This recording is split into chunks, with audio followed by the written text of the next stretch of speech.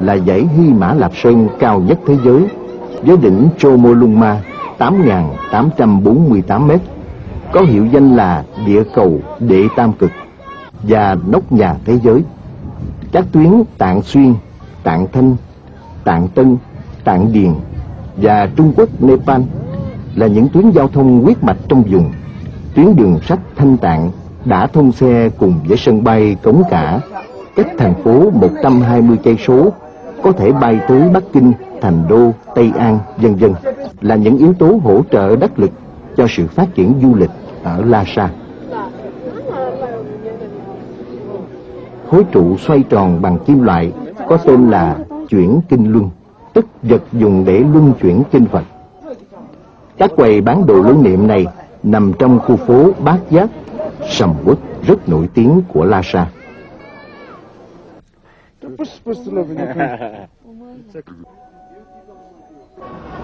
Đây là phố đi bộ nằm gần cung Potala. Chính quyền trung ương đã đầu tư những khoản tiền rất lớn để xây dựng, mở rộng và nâng cấp thành phố thành một trung tâm kinh tế văn hóa lớn của cả nước, tạo điều kiện để Lhasa cùng Tây Tạng giới thiệu nền văn hóa độc đáo của mình với thế giới. Đêm Lhasa cho ta một cảm giác lạ lùng. Nó lân lân, mơ hồ và thật huyền ảo. Đằng sau cảnh phồn hoa và ánh sáng rực rỡ của phố phường, bạn vẫn lờ mờ cảm thấy hình dáng những dãy núi khổng lồ, những dòng sông lãng đãng, những đền đài cung điện thấp thoáng trong mây. Và đằng sau những vũ điệu cuồng nhiệt rộn ràng vẫn thấy mang mát, bâng khuâng, những làn điệu du ca một đồng, mơ màng bí hiểm, lan rẽ khắp thảo nguyên.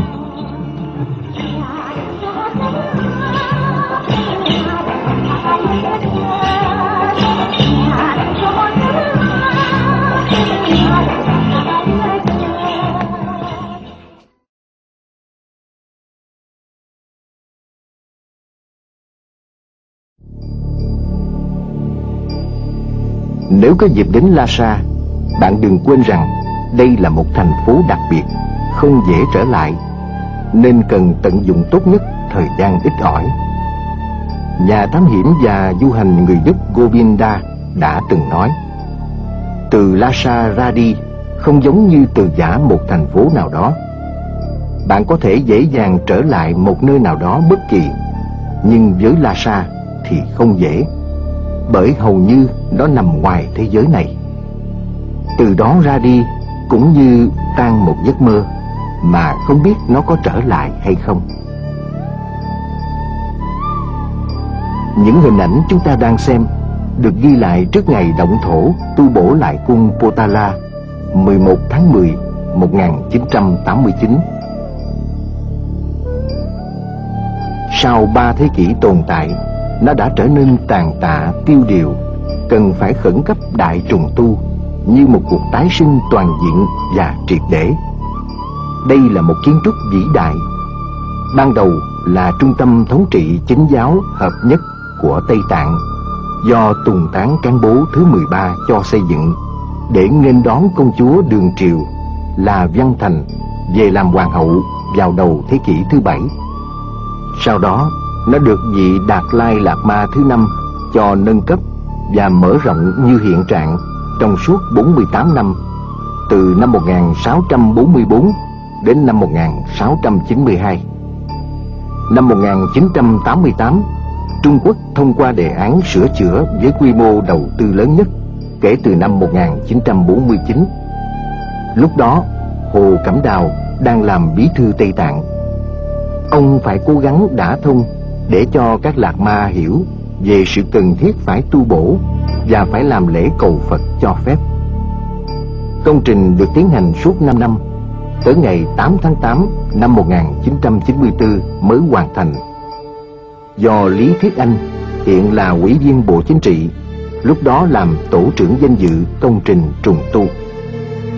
Trong suốt thời gian chuẩn bị và thi công, đã phải tổ chức hai cuộc họp lớn để chỉ đạo công trình một tại Lhasa năm 1988 và một tại Đại lễ đường Nhân dân ở Bắc Kinh năm 1992. 15 đơn vị xây dựng lớn trong cả nước đã gửi người tới Potala.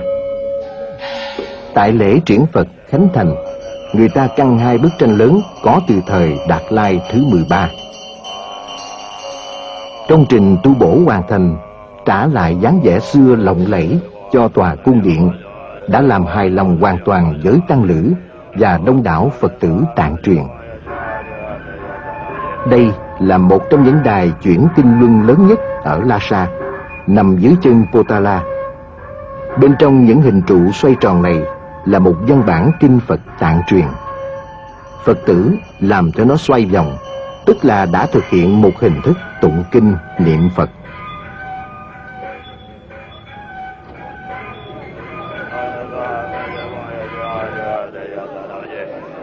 Dòng người lên cung điện để triều bái Phật và để cầu xin ban phúc lành lúc nào cũng đông đảo. Xen kẽ giữa họ là du khách từ phương xa.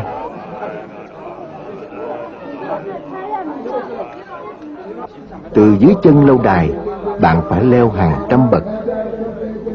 Potala được xây cất cao dần theo thế núi Mabo ở trung tâm Lhasa.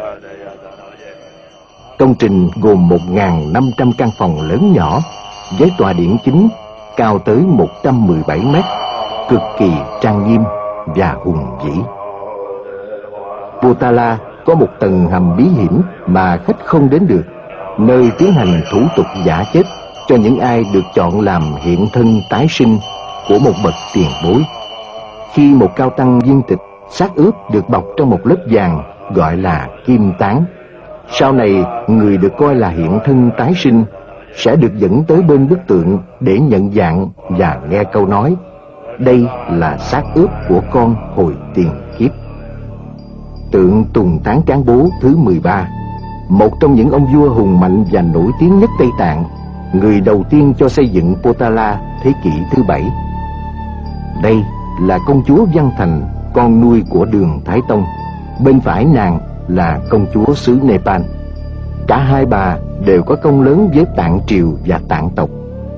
Người tạng rất biết ơn công chúa Đường Triều, không chỉ vì nàng đã đem về bức tượng Phật đức hạnh cao quý, được toàn dân tôn sùng, mà còn góp phần truyền bá văn hóa Trung Nguyên vào xứ này và làm cho hai dân tộc xích lại gần nhau.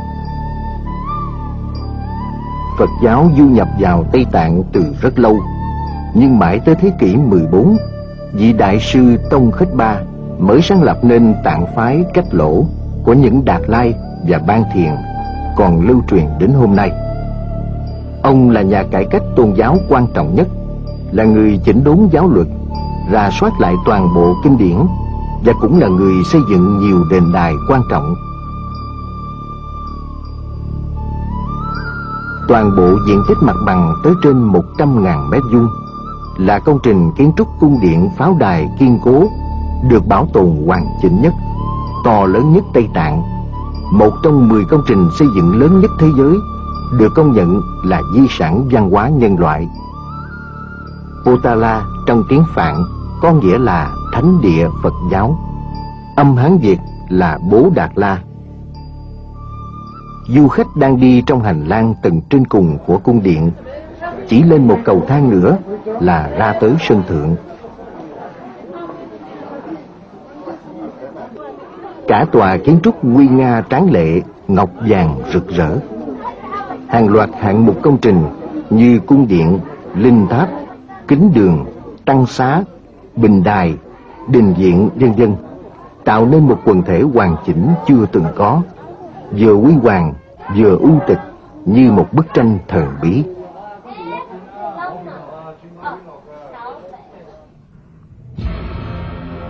Đây là phần nóc điện được nhìn từ sân thượng. Điện chính được xây trên sườn núi phía nam, vươn lên tới đỉnh. Chiều đông tây dài 360 mét, chiều bắc nam rộng 140 mét. Có thể nói, Potala là tinh hoa nghệ thuật kiến trúc cổ của dân tộc Tạng, là hạt ngọc Minh Châu trên miền đất mái nhà của thế giới. Từ trên nóc điện, vẻ đẹp mê hồn của La Sa tưởng như mới được phát hiện. Ta biết rằng thế giới có bảy kỳ quan, nay chỉ còn lại một là kim tự tháp ở Ai Cập. Gần đây, UNESCO có hỗ trợ cho một sáng kiến bình chọn thêm 7 kỳ quan khác của thế giới. Kết quả sơ bộ, Potala được xếp hạng thứ hai sau vạn lý trường thành. Đây là sự tổng hợp 13 triệu ý kiến từ khắp thế giới gửi về. Các học giả cho rằng đó là một sự đánh giá xác đáng.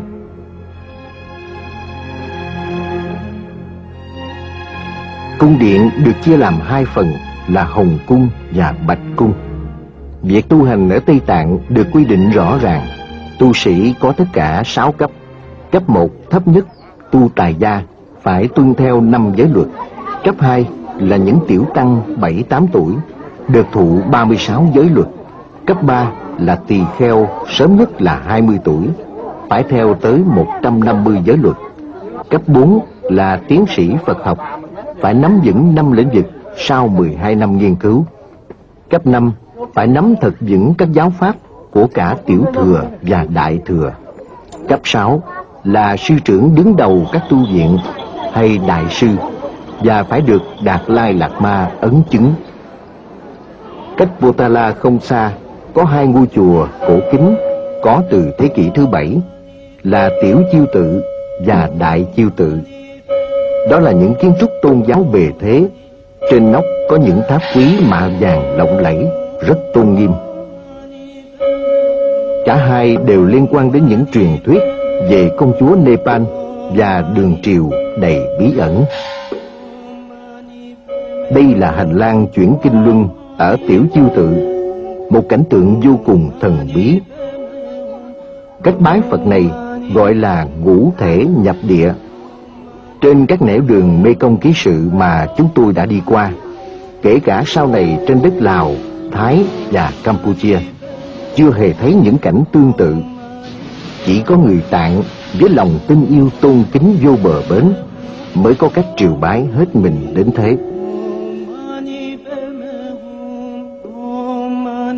Đèn nến trong các đền đài được thắp bằng loại bơ trâu lùng gọi là dầu tô, không hề có khói muội và mùi gây khó chịu. Các Phật tử tới lễ chùa đều không quên đốt nến, bởi mỗi ngọn nến đốt lên đều đem lại một điều tốt lành. Chưa ở đâu có loại ánh sáng lung linh, quyền ảo như thế này. Nó làm cho tri giác của ta lên đên như đi vào cõi mộng. Mãi sau này khi kết thúc hành trình Mê Công ký sự, chúng tôi mới thực sự hiểu rằng tại sao phần đất mà dòng sông vĩ đại gom những giọt nước đầu tiên thuộc Thanh Hải, Tây Tạng và Bắc Dân Nam lại được coi là kỳ bí nhất trên trái đất. Sự kỳ bí đó ở cả thiên nhiên và con người, một thế giới mộng ảo, bồng bềnh nơi đất Phật. Đây là bức tượng Đức Hạnh Cao Quý, tức Thích Ca Mầu Ni lúc 12 tuổi, do công chúa Văn Thành mang tới. Các tụng kinh đường trong các tu viện thường có sức chứa từ 1.000 đến 1.500 chỗ ngồi.